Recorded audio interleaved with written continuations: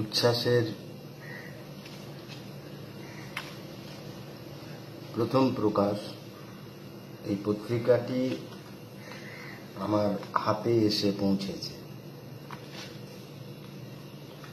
দেখতেই পাচ্ছেন, খুবই যত্ন করে করা এবং এর মধ্যে যে লেখাগুলো আছে, অসম্ভব ভালো ভালো কবিতা, গল্প, উচ্ছ্বাস এই পরিবারের সাথে আমি শুরু থেকে থাকতে পেরে সত্যি নিজেকে গর্বিত অনুভব করছি। আপনারাও উচ্ছ্বাসের সাথে থাকুন উচ্ছ্বাসের লেখা পড়ুন, ভালো লাগবে।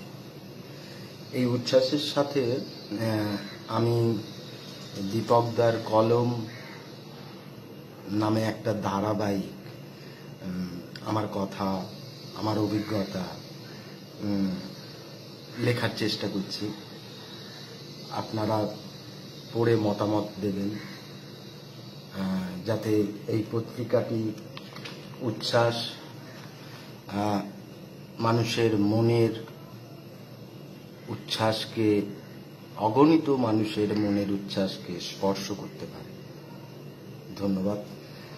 আমরা যেভাবে উচ্ছ্বাসের সাথে আছি, আপনারা উচ্ছ্বাসের পাশে থেকে উচ্ছ্বাস বাড়াতে সাহায্য করি ধন্যবাদ।